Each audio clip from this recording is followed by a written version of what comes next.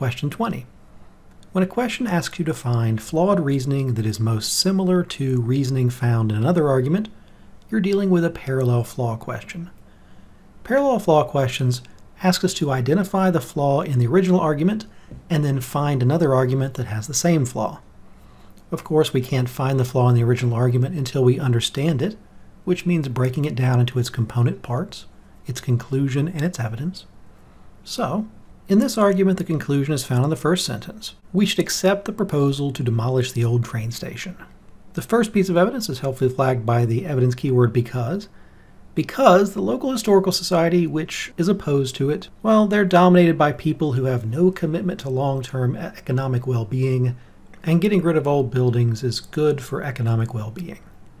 Now, the flaw in this argument is a fairly common one on the LSAT the absence of evidence flaw. Just because you've disproved someone's evidence or disproved someone's argument, that doesn't mean that you've proven the opposite of what they believe.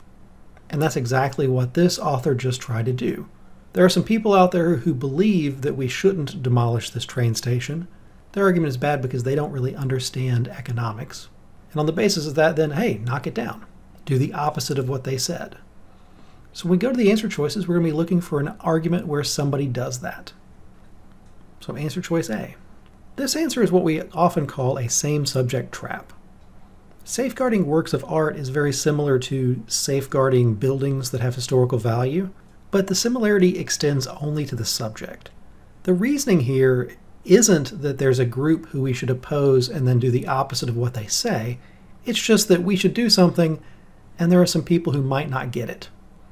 That's not similar, so it's not our answer. Go to B.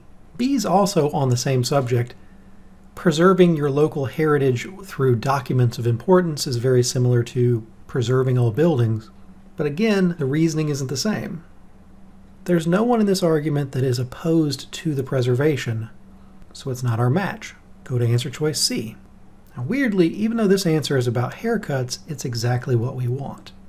We have one party, the beauticians, who are suggesting that their customers do something, we're attacking that argument by saying, well, they're just doing that to generate business for themselves, and they're concluding the opposite, so you shouldn't have your hair cut twice a month.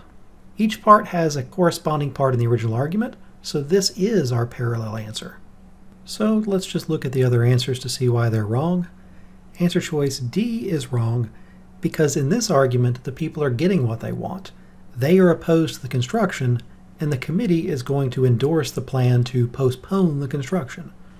And its choice E is wrong because we don't have someone who we're opposing. Instead, we just have this chain of effect here. Borrow a little bit of money, the debts pile up. So, since the argument isn't similar, it's not our answer. Answer choice C was our answer.